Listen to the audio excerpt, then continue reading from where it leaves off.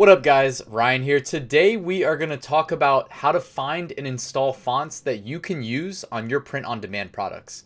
Now there's a slide that I like to show when I'm teaching my college web development courses and it's just called Font Matters and it shows the uh, dating site murderer meme giving a uh, giving his Valentine a you'll always be mine note except you can really see here from this illustration what a difference the font choice makes when you're delivering that message. So obviously font choice really matters. So now that we understand how font choice can impact our designs, let's look at some various places on the web we can go to explore new fonts and download them and use them in our designs.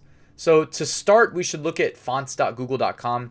This is the most popular, widely used font library on the web, most likely because it's Google, it's a recognized brand, and all these fonts listed here are free for both personal and commercial use. You can also use them on your websites very easily for free. But if you go and Google search for funny font or handwritten font, you're more likely to see search results pointing you to any of these four websites. DaFont, FontSpring, FontSpace, or 1001 Fonts. So I'm going to go ahead and open up 1001 Fonts. And here you can see this is basically just a search engine for fonts. You can type in text that you want to preview. So I'm just to type in St. Patrick's Day because that's a holiday coming up soon. And what I'm to do is I'm going to click the tag that says free for commercial use. What this is to do, this green tag here, make it click it so that it becomes green. Now it's only going to show search results of fonts that we can use for free commercially.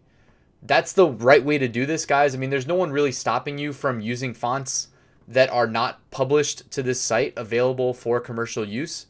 But you always, I mean, print on demand is a long term play. You want to be running your business the right way. So this is the safe play to click this filter that only shows fonts that are free for commercial use. So of all these fonts that we see here, if we see one that we like that we want to use, such as this one, Bit Crusher, St. Patrick's Day, that looks pretty good. I'm going to hit download. And just like that, we've downloaded bitcrusher.zip. I have my files download directly to my desktop. So as you can see here on the desktop, I'm just going to right click and extract using WinRAR. And it's gone and dumped the font file right here. Now to install it in Windows, all we have to do is go to our Cortana, type in control panel.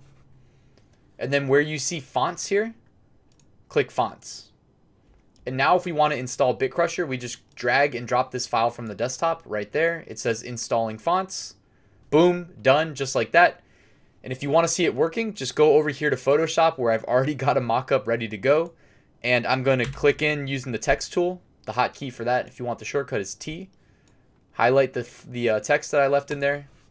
Click the font. I'm going to change impact to BitCrusher. And boom, as we can see there, we've got our font applied to our hug dealer. I'm trying to make it a little bit bigger.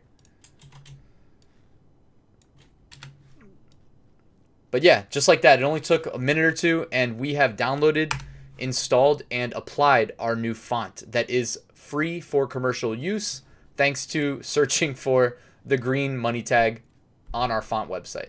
So thanks for checking out this video. It was a quick one. If you liked it, hit that like button. Consider subscribing. It would mean a lot to me. And drop me a comment if you have any feedback. I'll see you guys at the next one.